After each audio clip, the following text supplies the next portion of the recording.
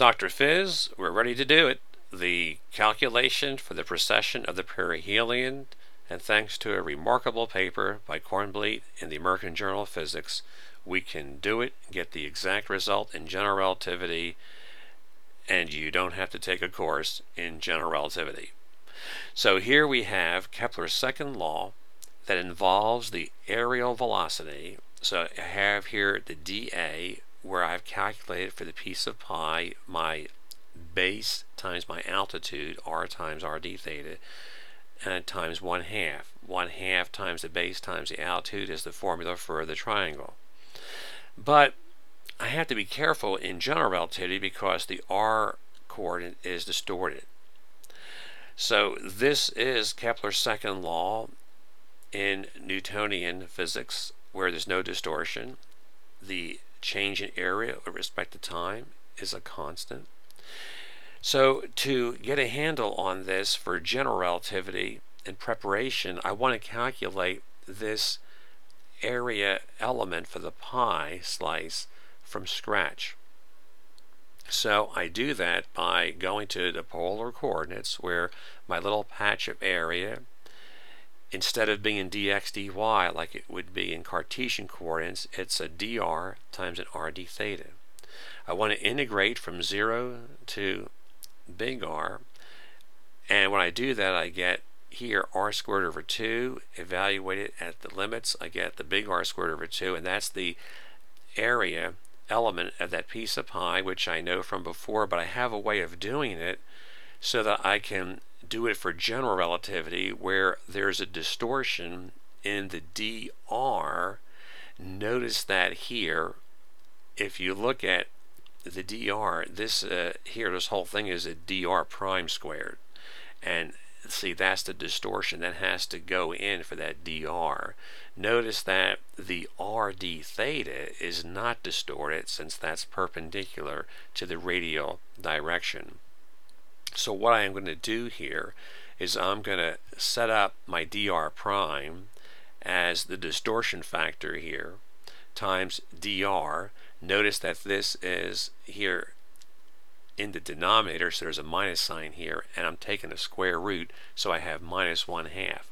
Doing a Taylor series expansion, when you have 1 minus a small quantity or a plus a small quantity to the nth power, it's simply 1, you know, plus or minus that small quantity times n.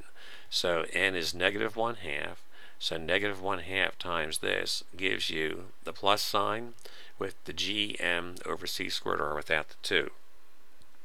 This is the distortion that needs to go in to the integral here, the dr prime, but the rd theta part is okay. So when I make that substitution, I'm doing this integral, and this integral is easy to do. We have two parts.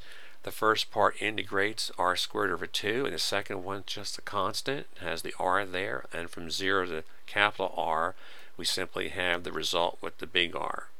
Notice by factoring out the big R squared over 2, I have the classical result from Newton plus the general relativistic result, and this is what's going to call the uh, cause the advance of the perihelion.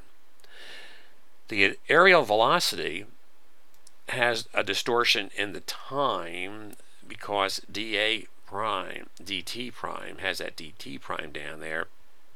And that distortion is got from here the same way, similar way we got the dr.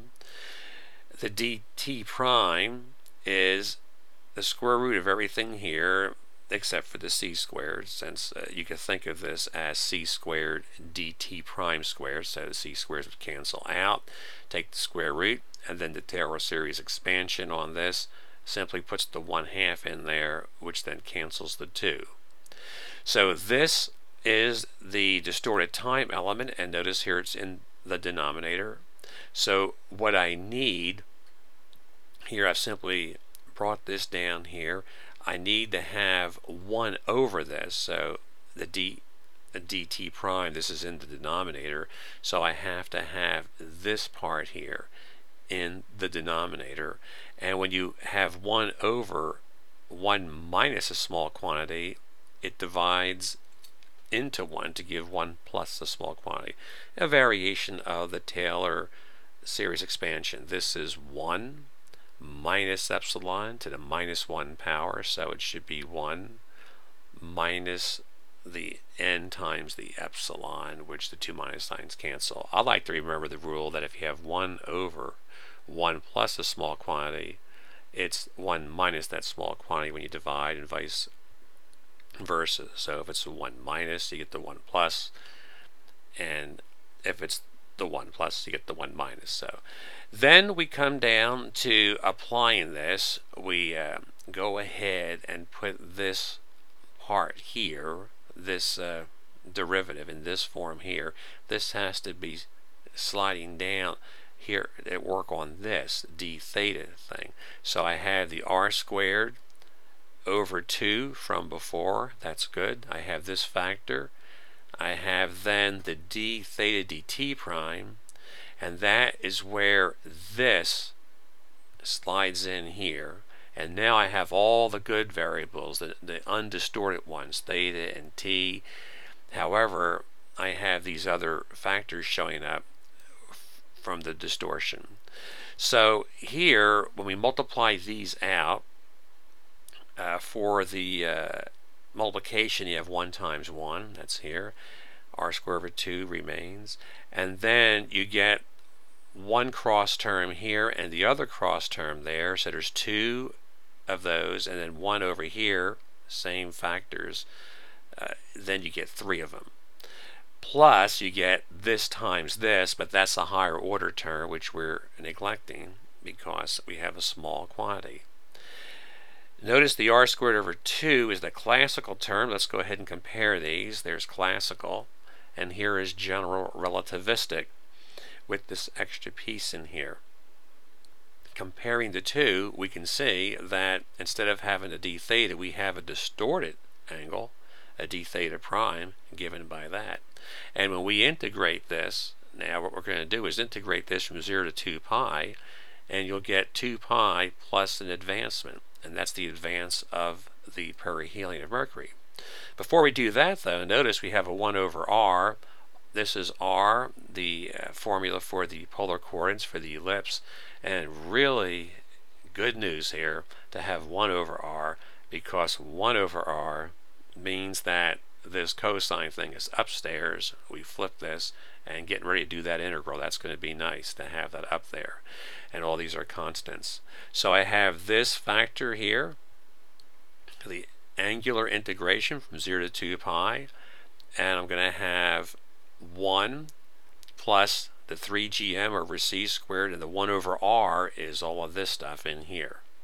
Notice that when you integrate this, you have 1 two, you know, three integrals. So I've broken them up. The first one here is just one. That's the classical term that if you integrate around, you get 2 pi.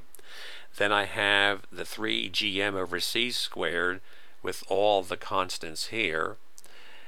And that one there, since there's a 1, that's all there is. And then for the last one, I have the one that has the epsilon and the cosine theta and these uh, common uh, factors in here. Notice that when you integrate the cosine of theta, you get the sine, and when you evaluate it, 0 to pi, it's 0, so don't even need that thing. So I get the classical one, and this one, very easy to integrate, just gives me 2 pi, and this is the magic moment. When you put that 2 pi in as a factor, you get 6 pi.